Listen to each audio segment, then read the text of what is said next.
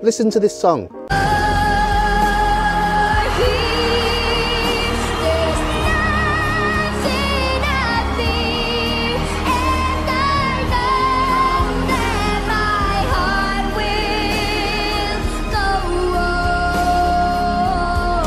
Beautiful, right? Now listen to this song.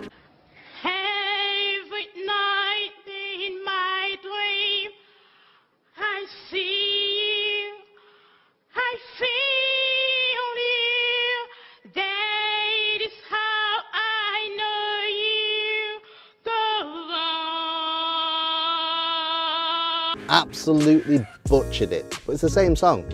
It's the same lyrics, same tune, same melody, except the second one delivered it terribly.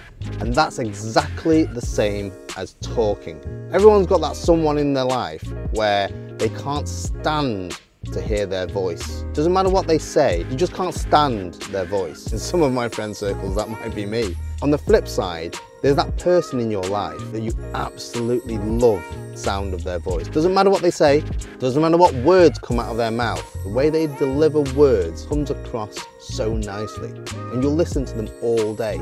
I annoy the hell out of my team at work when I pick a way that they deliver words to clients. Every single tone, every single volume change, every single pitch change to me matters because how they deliver the words to a client is the difference between the client accepting it or rejecting it. And it's the same with my kids. I constantly correct the way that they say things, their tone, their volume, their speed, and they don't know it yet. But one day when they're older, they'll realize that delivering words in a certain way gets you a lot further in life than they think they do.